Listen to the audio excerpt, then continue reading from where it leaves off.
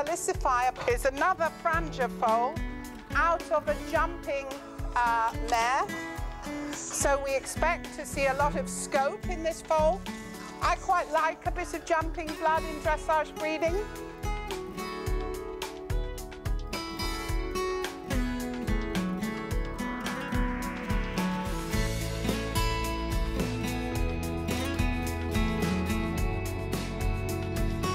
And again, we can see that wonderful looseness.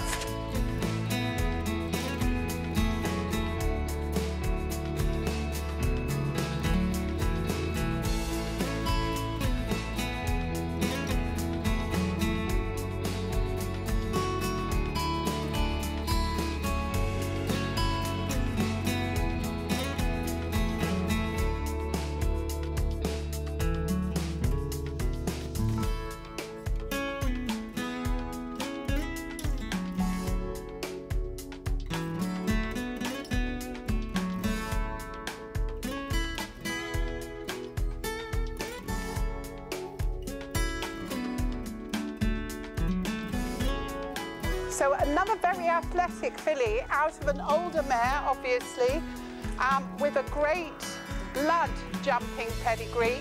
I could see this foal doing almost anything.